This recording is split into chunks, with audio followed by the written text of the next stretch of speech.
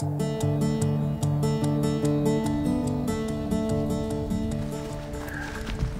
learned a lot about deer hunting this fall. I've been hunting now for about 45 years.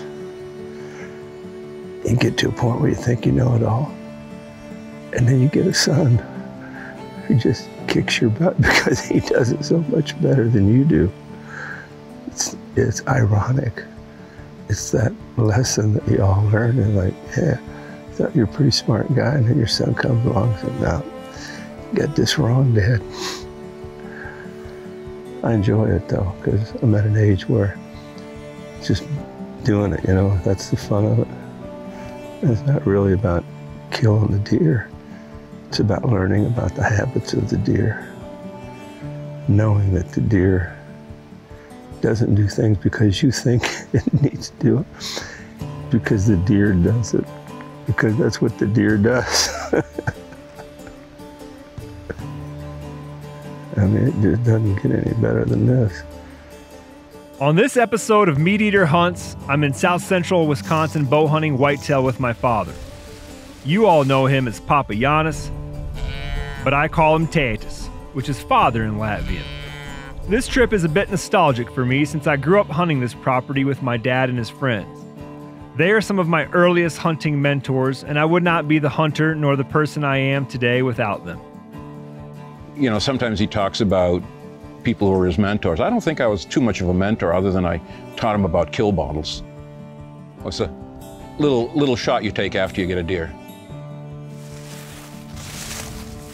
Although I've hunted here off and on for the last two decades, it's always been for just a few days around the rifle opener. This is the first time I'm taking a serious approach to hunting the rut here with my bow.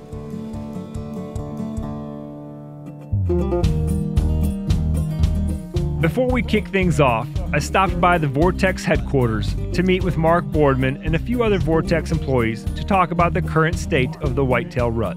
Yep. I think, you know, I mean, it's definitely a lot warmer this week. I'd say uncharacteristically warm than it is historically. Last year, we're talking like below 10, like, get, yep, six inches of snow. I mean, Yeah, we have know, highs near 70. Yeah, yeah. Today is a near record, like mm-hmm. warm, warm. If the high temps affect him at all this week, what do you think it'll do? I could maybe see some midday activity dwindling a little bit, Yeah. but you know, you say that and it'll be 2 p.m. and you have the biggest buck you ever see stroll by. Mm-hmm. So, We have a lot of ridges where we're hunting and high winds. Do you like do you stay on the ridges or do you get down out of the wind a little bit? Leeward side of the ridge, halfway down, you get high winds, and I think in hill country, like we're in, that, like here, the the bedding becomes way more predictable. yeah, yeah, I mean, that can definitely work in your favor, right? You can eliminate half the hill that you want to be hunting on. So, Well, thanks for the tips, man. yeah, no, I'll uh, I'll keep you guys posted. yeah, good luck. Yeah, let us know how you do. I will. The evening before the hunt, we look through the most recent trail cam photos and study the map one last time. Here's the interesting deer. Yeah, this is a cool old palmated bottom Palmated. mass. Extra points. Oh dear. I don't know many guys that would pass that one up. Certainly not me. Just sitting around this long table brings back memories. I was 12 years old the first time I attended this hunting camp.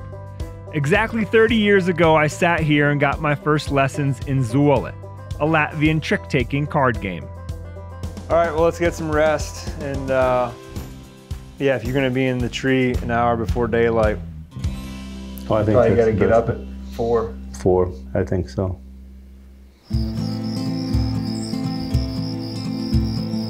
Well, I just can't believe it's finally here. We're hunting finally. All right, well, sh- shall we go on? Shall we got him? Let's do it. Just in case your Latvian is a little rusty, we interviewed my hunting mentors to help with translation and provide historical background. Shaugaram uh, is, is, is Latvian for sh- shoot past. Or it, it, it's like when you, when you go hunting, the, uh, it's like saying break a leg. In the last 20 years, I've really only hunted this property a total of 20 days or so. I recall the basic layout, but I'm not intimately familiar with it. I'm hoping to change that with a little bit of exploring. But first, I'm hunting a spot that I've been curious about since I first heard its name. This spot is known as the Oak Flat. Look around and you'll see why. The Oak Flat connects several ridges and sits between three big bowls. It's a natural crossing as well as a feed zone on good mast years. All that aside, I'd hunt here simply for nostalgia's sake. For whatever reason, when I was a kid, the Oak Flat always sounded like a great place to kill a buck, much better than a place called the Sawmill or the First Valley. I'm finally acting on that gut feeling from my boyhood. On my way in, I compare the topo map to what I'm seeing with my own eyes. What's around the oak flat is as important to me as the oak flat itself. You can see here, it's just a little finger that pops out here. It's almost like a bench, and then it drops off. I just about guarantee you that there's some deer bedded somewhere about this tip. Right as I get to the oak flat, I bump two does. I'll take that as a sign of good things to come. They probably just got my wind. But they were bedded in the shade on the north side of this ridge.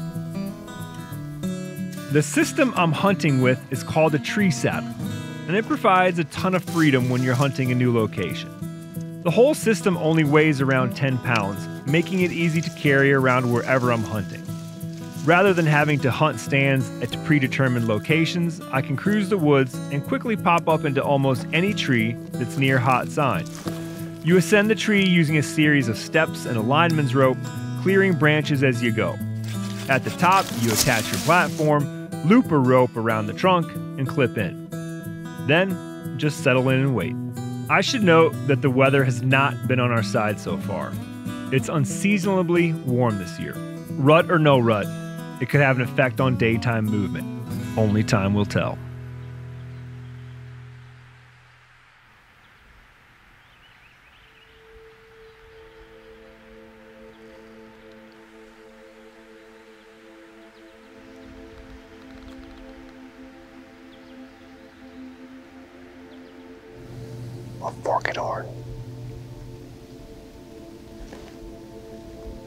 He smelled me a couple times, but just doesn't have his wits about him enough to boogie out of here.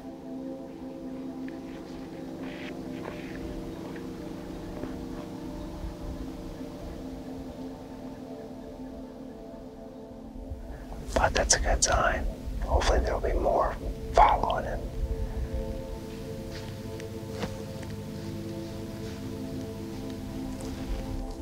Now that's not gonna happen with a mature buck. He smelled me and stopped and thought about it and thought about it and thought about it and then fed around a little bit. Now he's heading on up, up the ridge. That was cool. Call that a successful day. I'm riding high on my young buck encounter, so you can imagine my excitement when this mature eight point approaches just a few minutes later.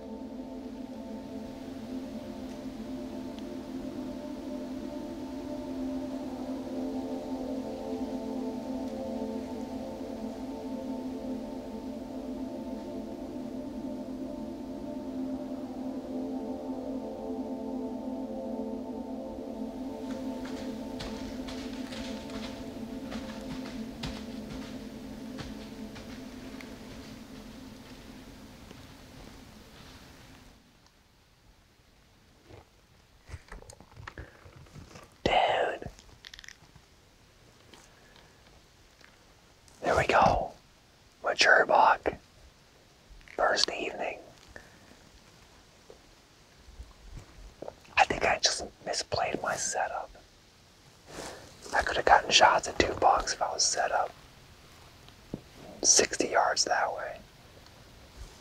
But that right there shows you the difference between like a one year old and I'm guessing that buck's probably three year three years old. That buck caught my scent and uh, it took him about three seconds to figure it out and then he got out of dodge. Meanwhile, on another part of the property, it's been a slow day for Tētis so far. But he's never been one to give up easily. yesterday it was 72. Today they're saying 67, which is not conducive to movement. Of course, it's the guy who sticks up in the stand the longest is the one that usually gets the deer, or the most persistent hunter. And then, of course, you gotta have a positive mental attitude. And like Steve Rinella says, you gotta conjure. So I got a big buck conjured with big 16 inch tines. We'll see how we do.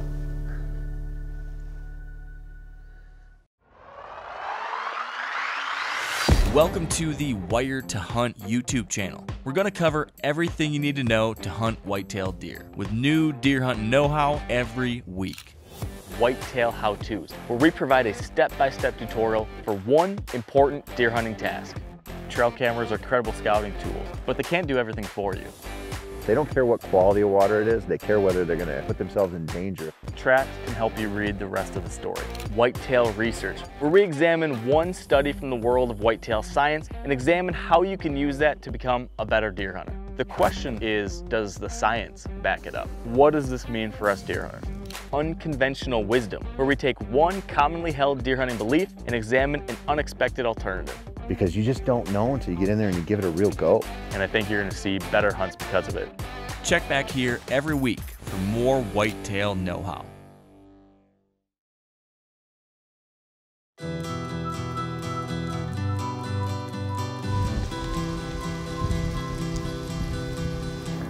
It's the third morning. I'm back on the oak flat where I saw the nice eight point buck the first night. Hopefully there's some movement here this morning. If I remember correctly, Janis Stacks was the first one that took me to the Oak Flat. Up there, uh, 3 o'clock, mid-afternoon. Uh, I knew it was a good area because I'd seen in the scouting a pretty decent sized buck up there. I kind of remember him sitting next to me and I kind of whispered to him, there's a deer here. And uh, it was, he knew how to be quiet. He knew how to listen.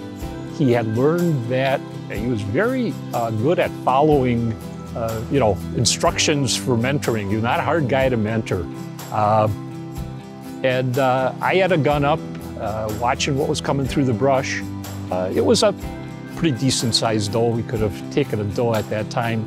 Chose not to because that situation it just wasn't necessary. and he did not look up. He didn't look up to see what was going on. He knew that movement there could scare a deer. So it was kind of at that point in time, I said, this guy's uh, knows what uh, he needs to be doing. Uh, he's in tune with what's going on with hunting. Uh, we sat up there till dark, walked back, and he had a hundred questions for me coming down the, the down the hill, and uh, they were all good. But I'm learning as much from him now as maybe I was able to help him uh, uh, uh, early on. And, and that's a real fun thing to experience, uh, to see that happen.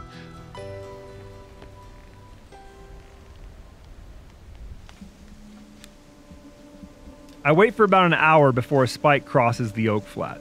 He's oblivious to my presence and offers a shot, but I'm holding out for a mature buck.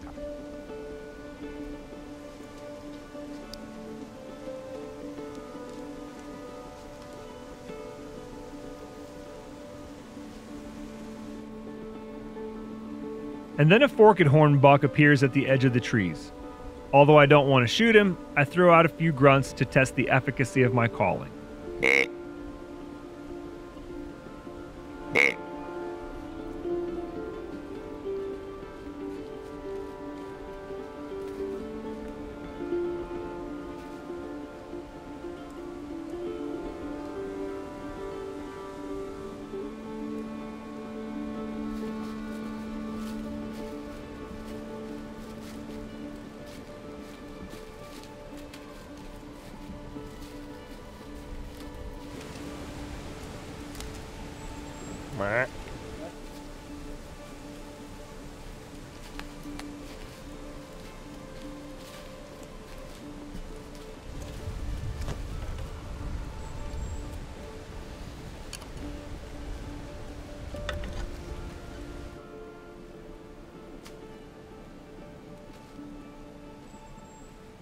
that grunt call works.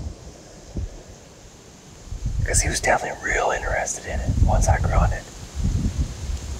And the other nice thing about having a deer within range is every time that happens, I'm practicing. I practice getting my bow, getting my release on my string, getting in position, and then drawing as if though it were a mature buck.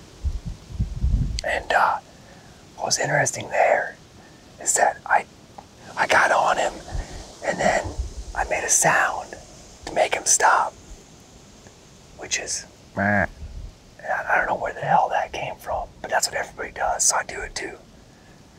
I thought I did it plenty loud enough, but he didn't even he didn't break stride. So that's something to think about. It's like next time I might want to be a little bit louder and make sure he stops because you know it only takes five more steps and he's behind some stuff and I, and I don't have a shot anymore. Meanwhile, the dad has moved to the far west border for the day. He's got a good feeling about the spot. After 40 some years hunting this land, he's probably forgotten more about the property than I've learned. And of the bucks killed on this property, three of the four biggest ones have been killed within probably 75 yards of where we're sitting today. Over the last 20 years. It's the first year that it's actually seriously been bow hunted, maybe to our advantage. Let's hope so.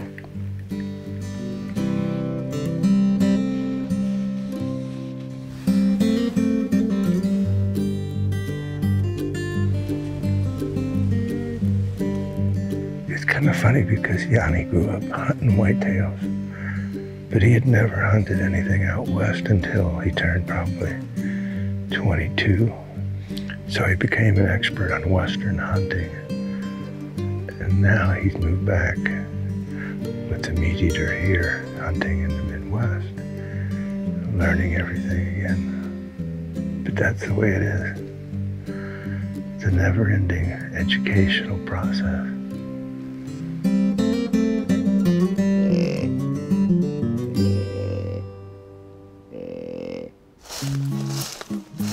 It's day five and about 15 minutes into shooting light.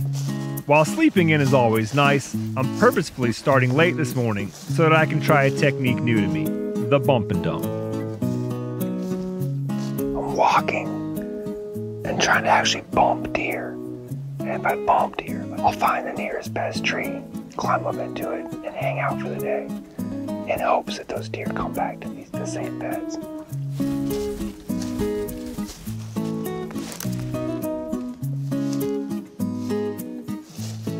Although I never bump any deer, I soon see encouraging sign. Two rubs within 70 yards and a pretty nice scrape here. I'm in a, like a low saddle between two high points, so definitely a crossing zone.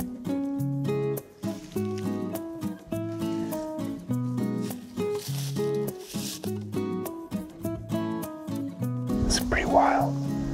Something I've never seen before. I just went by two scrapes and they looked old, dry, so I didn't even look closely. This one I could see there's kind of a fresh track in it, and I looked up to see this uh, leaf. It's got some liquid in it. It smells like topaz, probably is topaz. So, again, as windy and as dry as it's been, as warm, this doe did this here, like in the last, I don't know, 12 hours, maybe three or four hours. Um, you can see her fresh track in there too. There's obviously activity in the area, so I decide to get into a tree and scope things out.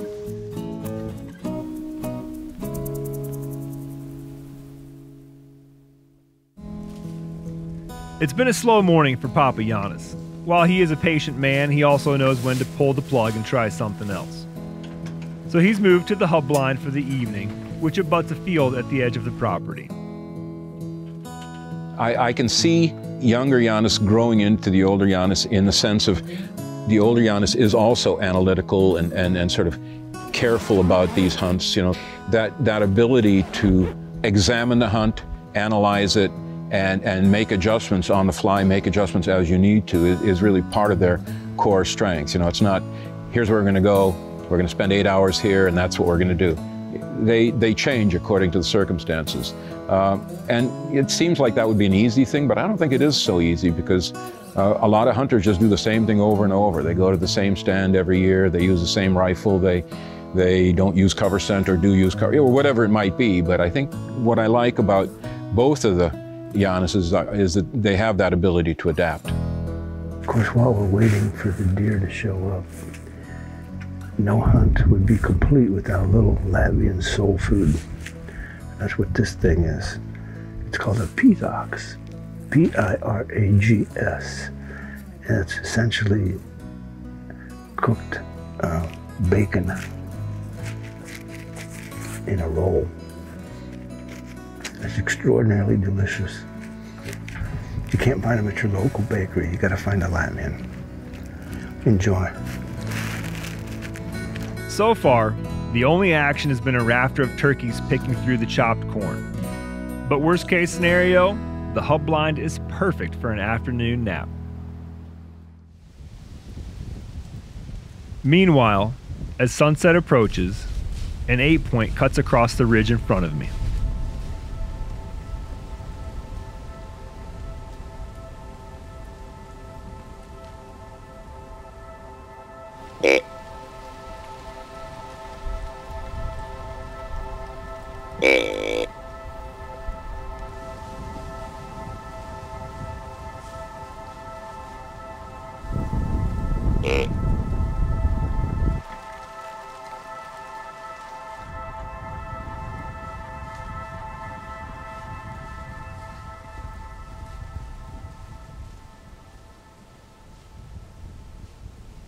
I unfortunately had one branch right in the way when he stopped there for a while broadside.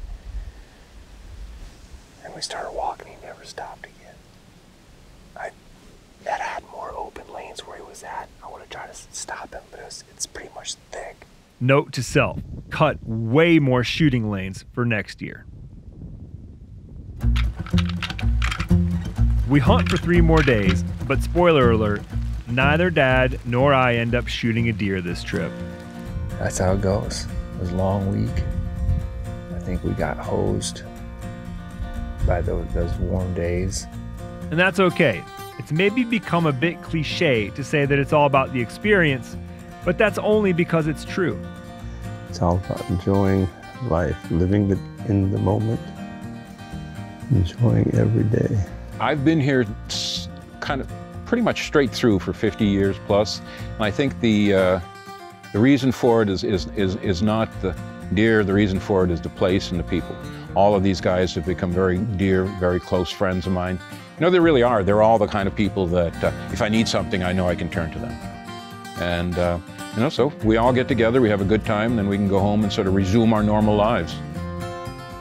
It doesn't matter whether it's a wonderful day like this or whether it's snowing or raining or you're up into your knees in mud, you still have a good time. So uh, that's what it's all about. And, And it was fun to hunt with my dad, although I didn't get to hunt with him too much.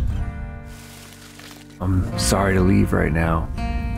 These woods and this country, it's close to my heart and my soul. But I'll be back.